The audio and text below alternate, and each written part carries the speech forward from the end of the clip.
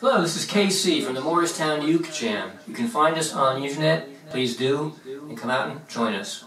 So now we're going to do a song from 1966 by the Beatles called Tomorrow Never Knows. And afterwards there will be a tutorial showing you how we played it.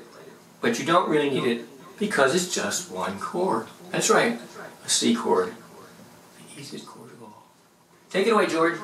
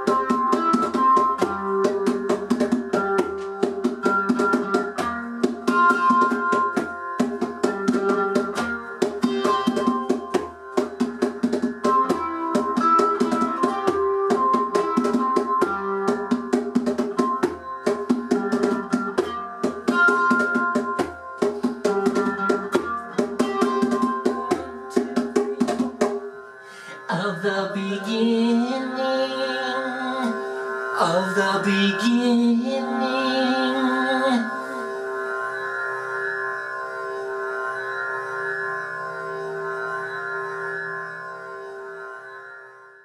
Okay, tomorrow never knows. I think that was a Ringo expression. Anyway, this uh, was a game changer back in 1966.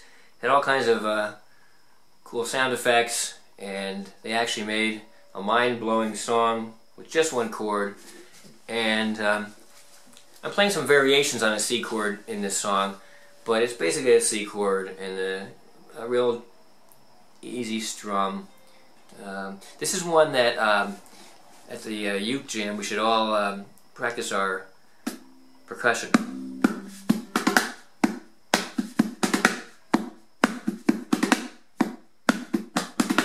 That would sound really cool. So uh, anyway,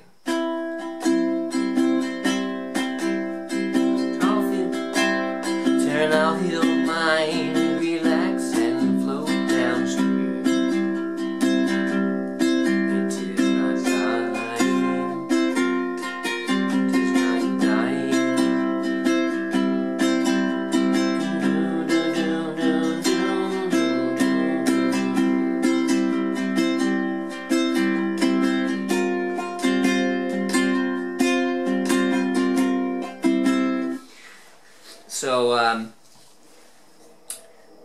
there's a C7 sustained chord here, just like a C7th chord, and you add another finger next to it.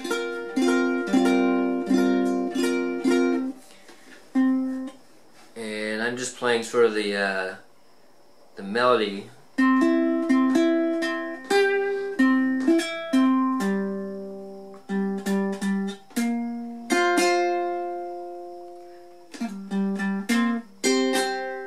So what I'm playing there actually uh, is I'm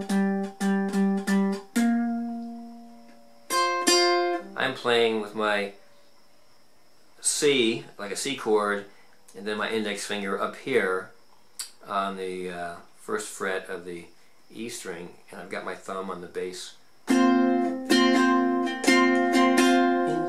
Then I'm playing a um, C fifth, which is having two fingers next to each other at the C. So.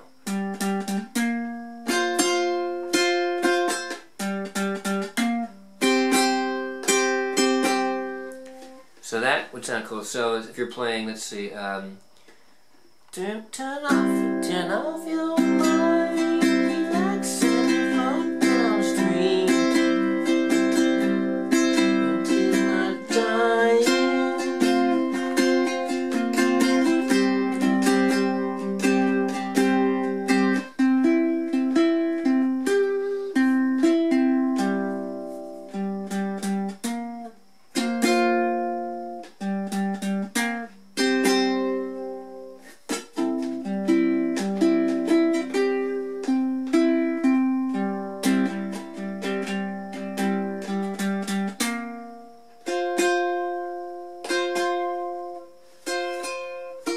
I play.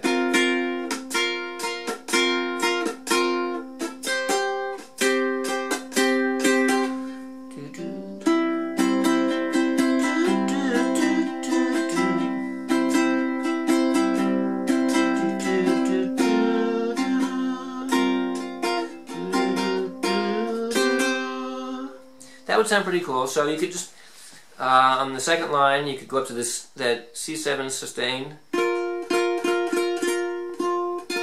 first fret here, and then up to the C fifth, two at the third fret. So.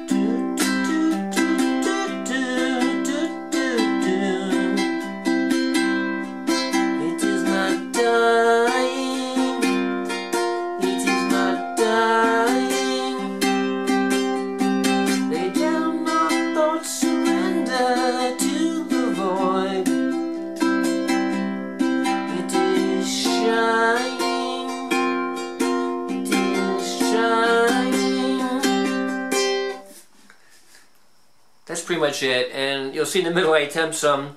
You know, in the Beatles song, there's a bunch of backwards guitar loops, which was pretty cool for its day. So I sort of attempt to give that flavor, shall we say. um, so take that for what, it, what it's worth.